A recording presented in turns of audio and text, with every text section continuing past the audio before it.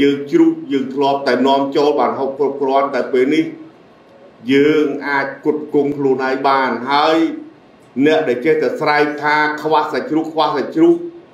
ថ្ងៃនេះខ្ញុំសូមនិយាយអំពីខ្ញុំមានបទពិសោធន៍អំពីថាខ្វះសាច់ជ្រូក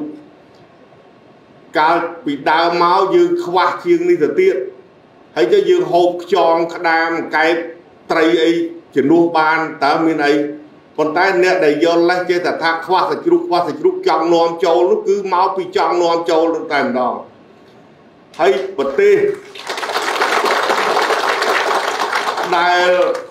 ចង់តែនាំចូលនោះមិនងាយរីកចម្រើនទេខ្ញុំសូមជម្រាបទាំងអស់គ្នាទាំងអស់គ្នាសុទ្ធតែជាស្ថាបនិកជាអ្នកផលិត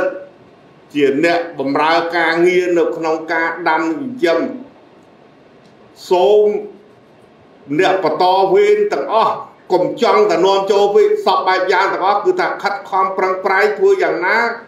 ផលិតខ្លួនឯង